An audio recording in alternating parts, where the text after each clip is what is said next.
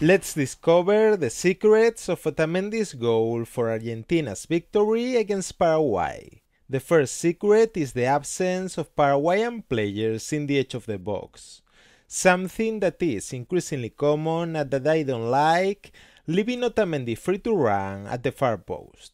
The second secret is Tagliafico's screen preventing any player from jumping to intercept the pass or block the shot.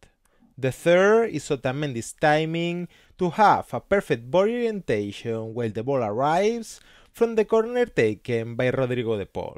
And the fourth secret is the physical condition of the center back to raise his legs so high, perform the perfect technical gesture, and not have any muscle problems in the movement.